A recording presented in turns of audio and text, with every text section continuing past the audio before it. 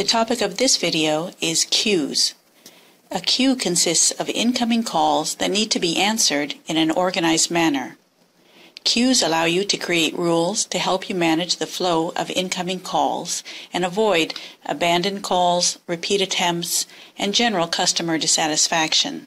Call queues are especially useful for scenarios in which the volume of callers is expected to exceed the number of people or agents that are available to answer calls.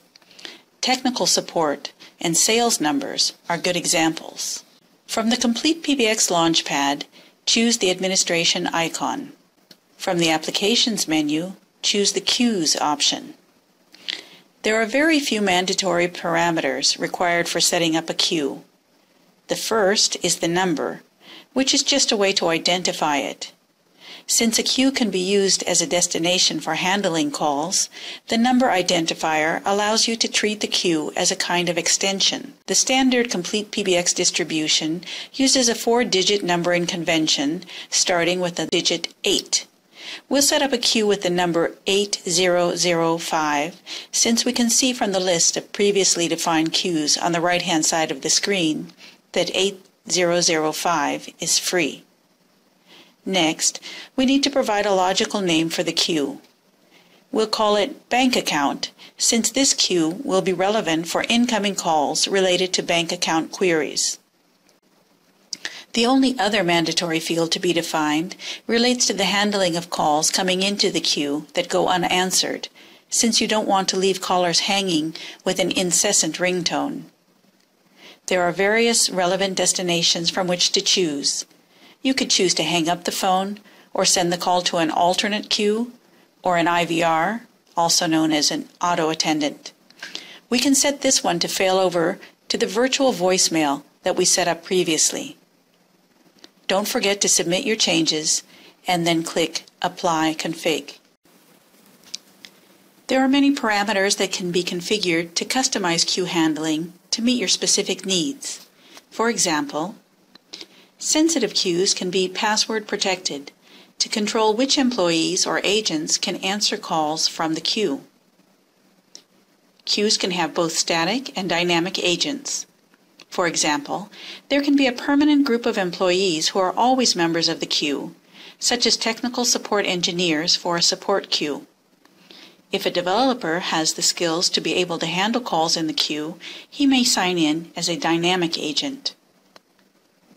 Call confirm is a useful option if one of your static agents is operating from a cell phone.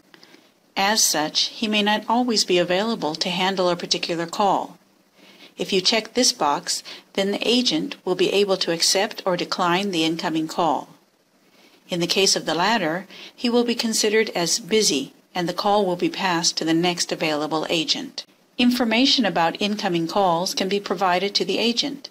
For example, in the CID name prefix field, you can assign a prefix, such as bank, to differentiate the call type for an agent that accepts calls from multiple queues. The agent will then be prepared to supply the relevant greeting if desired.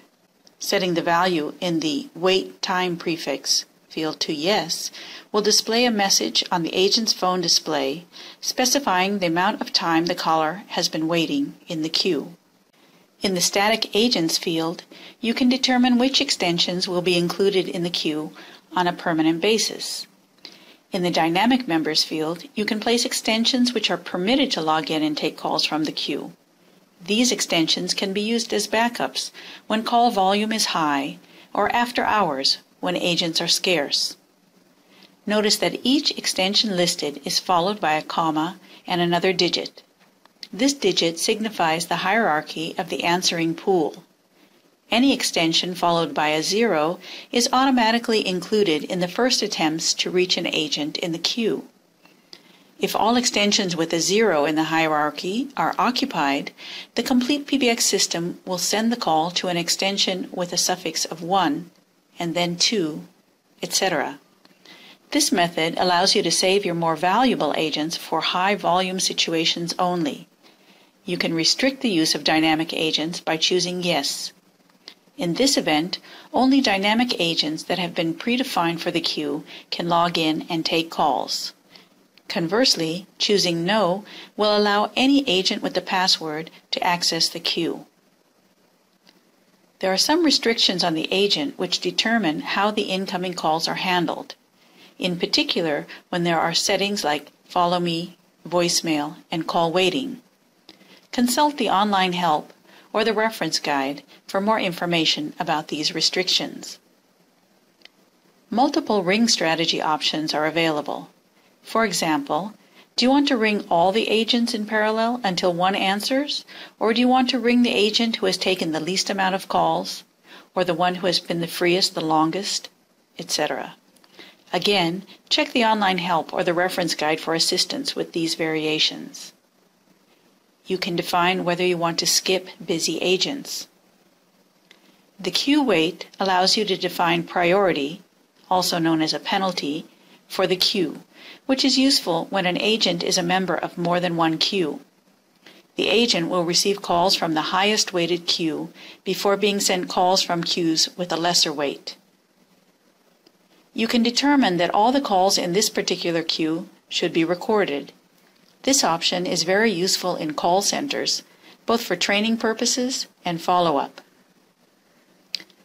In the Timing and Agent Options section, you can set the maximum wait time that a call will be in the queue before it is considered unanswered and consequently redirected to a different destination.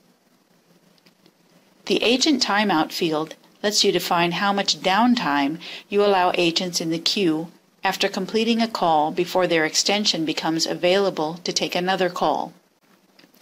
This wrap-up time is generally used by the agent to write up the call in the CRM or complete other housekeeping tasks.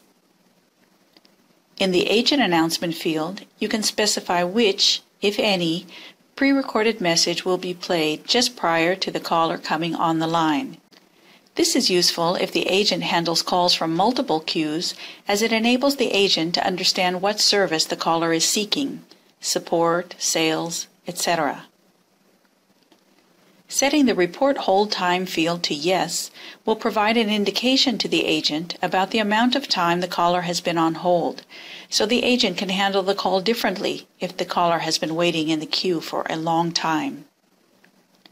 In the capacity option section, you can determine the maximum number of callers that should be allowed in the queue at any one time. If the number of calls exceeds the number indicated here, the call will automatically be sent to the failover destination without waiting in this queue. In the Join Empty field, you indicate how to handle incoming calls that enter a queue in which there are no logged in agents. You may decide to allow calls to join an empty queue if you use that as a trigger to get agents to sign into the queue. In the caller position announcements, you can determine with what frequency you should provide incoming callers with feedback of their position in the queue and their estimated hold time. There are two very important flags in the Events, Stats, and Advanced section.